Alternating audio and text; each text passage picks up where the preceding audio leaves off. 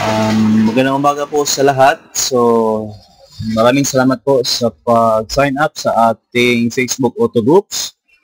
At after nyo mag-sign up mga kaibigan, at after nyo ma-activate ng administrator, log in nyo na yung account nyo. For example, sa akin is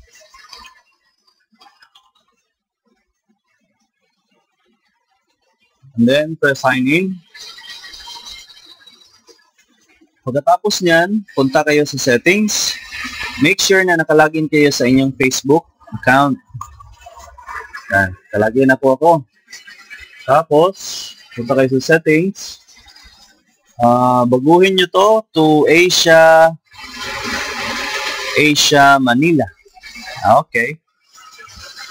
At uh, click Save Changes.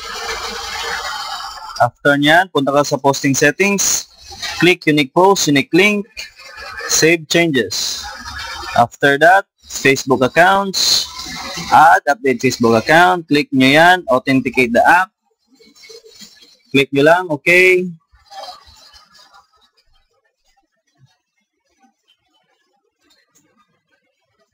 Click ng okay. Okay, yan na. After that, close. Then, get app access token.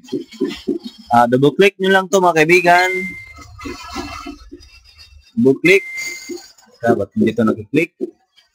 Yan, double click. Tapos right click, copy. Then paste. Add Facebook account. Okay. After nan, close na. then refresh. Just press continue. After that, go to Facebook apps. Then, click this authenticate. Pag ganito ang nakita nyo, just close the window. Then, punta kayo sa Facebook nyo. Click. Click nyo. Then, confirm.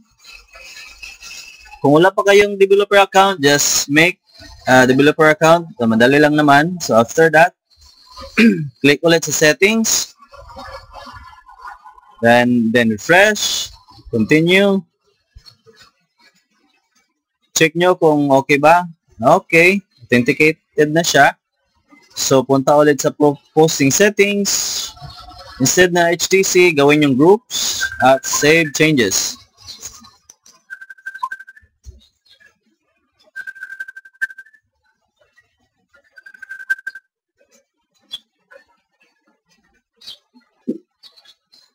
Okay, click sa Facebook apps. Okay, tapos posting settings, groups, Facebook account, profile. Okay, so okay na. Uh, click the logo para bumalik sa posting.